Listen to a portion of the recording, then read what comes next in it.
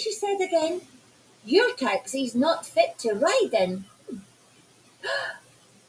no wonder Dr. Juno hurt her bottom. The springs are all sticking out of the seat.